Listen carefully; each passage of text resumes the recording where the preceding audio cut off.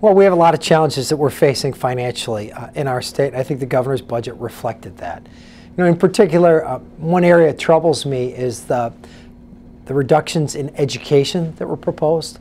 I think, look, if any business wants to come to the state of Illinois, they want to stay in the state of Illinois, or any family that wants to live and work here, they want a good quality education system. I think the governor accurately pointed out the financial picture that we're in.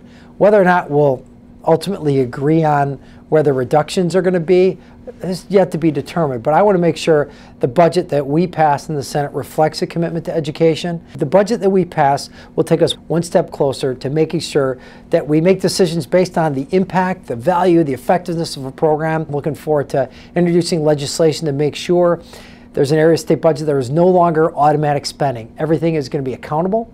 Uh, everything is going to be evaluated. There's going to be all the scrutiny that needs to occur in order to make sure that we know what's being effective, what's not. Because the essence of the spending reform law that I passed requires the state not just to live within its means, to fund what works, get rid of what doesn't, but to do that for all aspects of the state budget. So I'm hopeful moving forward that we're going to have that.